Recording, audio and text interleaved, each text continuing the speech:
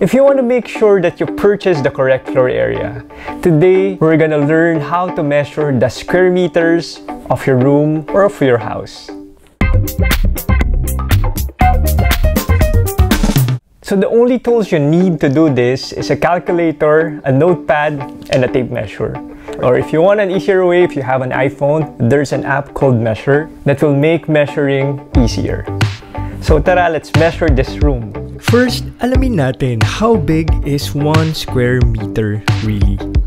A square meter is 1 meter by 1 meter and 1 meter is equal to 100 centimeters, 39.37 inches and 3.28 feet. Para malaman natin kung ilang square meters ang room na ito, we have to get the area.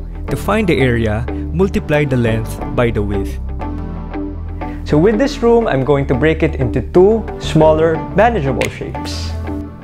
For the first rectangle, the width is 3.66 meters and the length is 3.84 meters.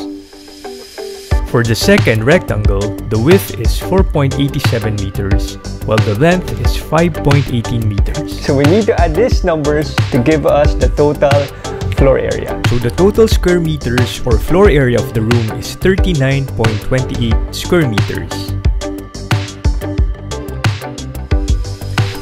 So if you want an easier way, iPhones have an app called Measure, wherein you can just move the dot to your starting point until to the end point of your measurement. So this one, I am measuring the length of the second rectangle, which is actually pretty accurate. Knowing the square meter of any room is important so you would know if furniture will fit, or the size of the carpet, or how many tiles will be needed. There are free website that automatically computes for this.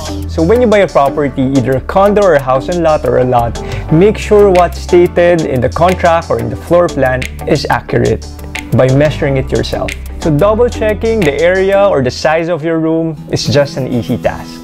Again, I'm Chris and watch out for my next vlog as I discuss the basics in real estate selling. Bye!